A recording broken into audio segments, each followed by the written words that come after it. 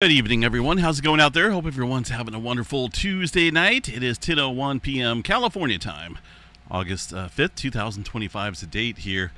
Latest activity on the globe shows a 3.1 earthquake. Uh, looks like it's hiding out there around the uh, Indonesia area. Also, some movement here off the coast of Northern California. Got an earthquake coming into this area around. Uh, let's see if is picking that up. Doesn't look like it here. I got a Petrolia station here. Um, but this earthquake just offshore here coming in within the last ooh 20 minutes or so out in the Gorda Plate. Nothing going on here far as any uh, further activity inland underneath Northern California. I guess we better double check the tremor. So let's see what we have for Cascadia tremor out there, which is uh, wow 332 decent uptick again underneath the Washington area and a little bit down here across the south uh, southern coast here of Oregon. Do have to watch that. Uh, not a whole lot of activity showing up here on the map. Up in uh, Washington area, it looks like they've completely stopped reporting the earthquakes here. Uh, let me just double check and see what the Mount Rainier seismograph station looks like here. Uh, now I know this one here has been amplified or uh, toned down this is the one I normally check. Let's see now. Look what they did to it now. I think they're playing games. I don't know. That's a little weird. Yesterday or this morning, it was completely squashed. Now it's overblown, but this is not. That is. I don't think that's correct. Something something fishy is going on here with the seismograph stations. Let's see if they mess with this one. No, this one's still the same. Uh, a number of smaller quakes out there. Let me go back to previous UTC time. Uh, nothing big. There's a couple earthquakes here. Very well defined. This is outside interference. These events, I'm not for sure what those are. It almost looks like earthquake activity, but it's distant. Local events are going to be really spiky there like that. Uh, but there's not a whole lot going on there, as far as I can tell from this graph. But hopefully they don't do something with this one as well. Otherwise, we won't have any graphs to look at. We'll just have to take their word for it that nothing's going on. Uh, one earthquake there outside of Olympia this morning, a little 2.2. Uh, somewhat quiet up there. Like I say, I, I, don't know if all the quakes are being reported across the Pacific Northwest, though. Uh, also down, way down south here in Southern California, had a, a three-pointer as well. That uh, is going to be this 3.5 here right around the area of the um, Fontana region. This area had a four pointer out here and a couple other earthquakes in the last 30 days. I guess we can double check the uh, all magnitudes here. About 43 earthquakes around Fontana. The latest a 3.5 this evening, about four miles underneath this area. There was a 4.3 uh, back on the 31st of July and a handful of other quakes in there as well. So it just it's part of the uh, San Jacinto fault zone or just off of it. Uh, I think they call this the Fontana. Oh man, I can't remember what they call it here, but uh, occasionally sees swarms on it within this area. Uh, it's awfully close here to the southern branch of the San Andreas Fault. Now, whether that uh, triggers it or not, I think it'd have to be a, a little bit bigger than that, but uh, Either way, Southern California lighten up out here a little bit. Uh, one just off the southern branch here. Got this little earthquake uh, from this afternoon. Again, that's just off of the plate boundary. See if we got any further swarming going on down here across the Brawley area. It looks like that came to a halt there about 9 o'clock this morning after about 20 earthquakes or so. Uh, fairly small in magnitude, although we did have a three-pointer, so that's technically uh, three three pointers out here so far. A couple down south and uh, one offshore Northern California. A little bit of clustering going on here across the uh, creeping section there of the San Andreas Fault. Nothing big going on there for now, but uh, you know, California is just it could be next here for earthquake activity. We'll have to watch that. One little earthquake showing up there on Yellowstone, a little 1.5. Uh, let's see. Texas oil fields, nothing new. Got a cluster going on out there. And there's an earthquake in New York uh, this morning for a 2.7. Nothing new to report there for now. Uh, across the area of Puerto Rico, got a number of earthquakes out here, including that 5.7 this morning, super deep there. uh, associated with the Muertos Trough, which is the subduction zone right here. Puerto Rico kind of sits up on it. This area can get some big earthquakes, so we do have to watch that. I don't recall the last time we've seen a, a big one out there. I'm talking above a 7 range. Let's see what we got. I'm just going to go back here and take a look at the historical data around this area of uh, Puerto Rico and the Muertos Trough region here. See what we got. Not too many showing up here. Looks like uh, the last earthquake across St. John's area, further to the east along that subduction zone, is uh, 7.5 back in 1974. So that tells me right there that we've had a lot of time building up out here on the Muertos Trough uh, for some large activity. Look at this earthquake here back in 1615, a 7.5. So, really, no new historical data here. So, things are building up across this area of the subduction zone.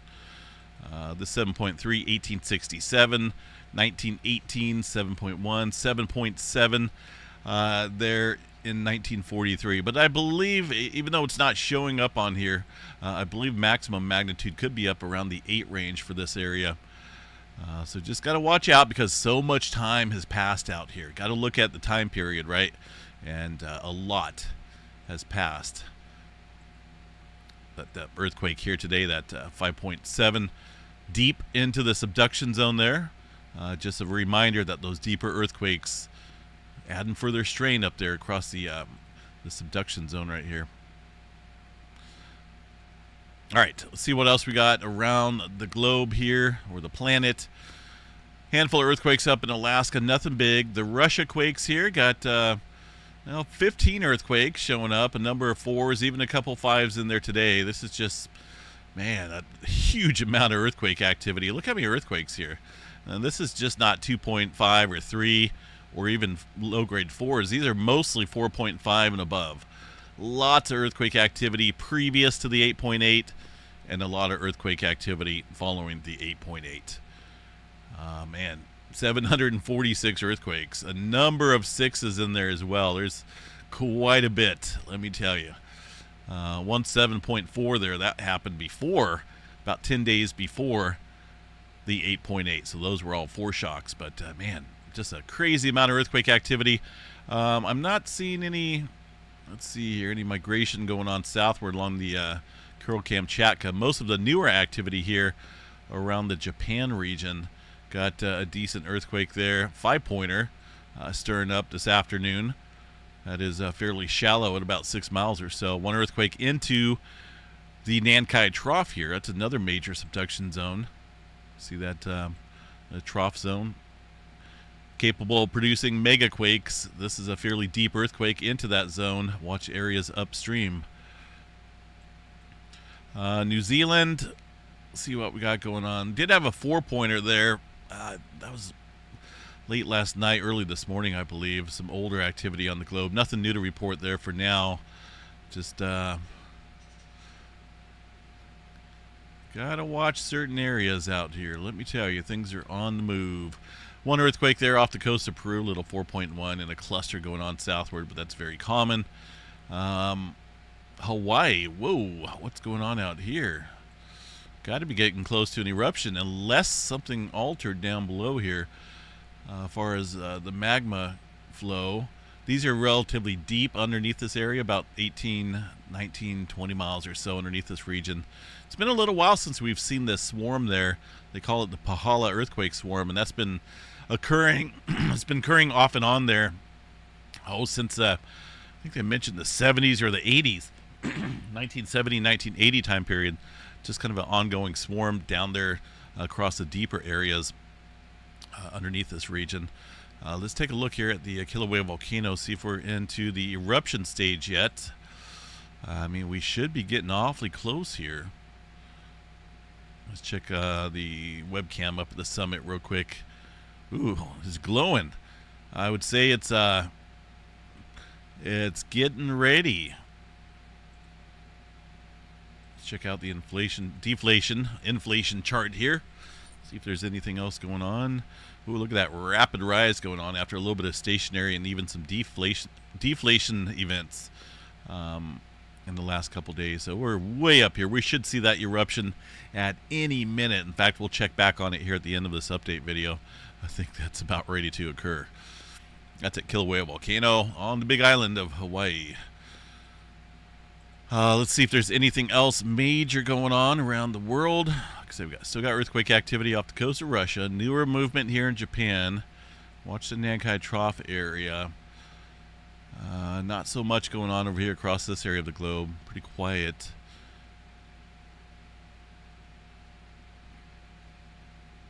All right, uh, let's check out space weather activity. We do have uh, a fairly massive coronal hole here, number 69. That's uh, just about ready to face us. Last time we had a massive coronal hole, it kind of uh, stirred up the earthquake activity. We'll see what happens here uh, with this being in view. Uh, as far as any major flares go, there's that M flare early this morning. Uh, looks like we're still sizzling a little bit here with some C flare activity, starting to you know pop and sizzle here a little bit. That uh, is some signs here that uh, maybe getting ready to see another flare out here. Uh, we do have this region right here. This is the one that produced the M flare and numerous C flares recently. Uh, and also what looks like another active area back on the northeastern limb. I believe that's from that group of sunspots finally getting into the Earth-directed view. Uh, not uh, really impressed with that. Uh, but it does look like it's thrown off some flare activity. Our main area is going to be right here. This sunspot is, uh, you see all those little colors there indi indicating magnetic polarity. That uh, is a good sign if you want some flares popping. Looks like this area down here is starting to grow a little bit as well. Uh, so we got two main regions to watch right now, 4168 and uh, 4170 over here. It does look like there was one newer sunspot here. Um, let's take a look. Yeah, not doing much yet, but main ones we'll watch here. Center disk and over here across the southwestern limb of the sun. Uh, as far as any major aurora events in the forecast, right now I don't see any. Nothing up here on the list. Uh, beautiful moon out there this evening. I was fighting some mosquitoes to get a couple shots of the moon here in Northern California. Posted them there on my YouTube and also social media accounts. Uh, go check it out if you didn't uh, get to see it. But it is beautiful up there tonight. 99% uh, chance for C flare, M flare 40, X flare around 10% chance or so. Uh, let's take a look here at um, a potential hurricane status out here. We're going to go to lower dynamics, check out the wind, and we'll put this into motion here. Watch the Atlantic out there. Got uh, some activity kind of stirring up there. And, wow, look at that. That hurricane completely squashed and disappeared over the last couple model runs here, it did show some hurricane hitting Florida or maybe even forming further south and entering around the Gulf there and, and hit Louisiana. But as of right now, it's, uh, well, still got one way down south, but that's even further out. So these things can change left and right. Tomorrow it could go back to how it was um, on previous runs, but um, nothing of any near term activity uh, as far as the tropics go for now. As far as any uh, rainfall out here for the west coast, well, let's take a look. I don't think we're going to get any. Put this into motion. Huh, everywhere but California. Up in Washington, Oregon, they're getting a little rain system up there. Actually, some decent rain for this time of year quite a bit of moisture across the rest of the country. California, we're going to be cooking out here. It's supposed to be 107 or so uh, coming up in a couple days. So I am not looking forward to that, let me tell you. Not one bit. I am going to keep uh,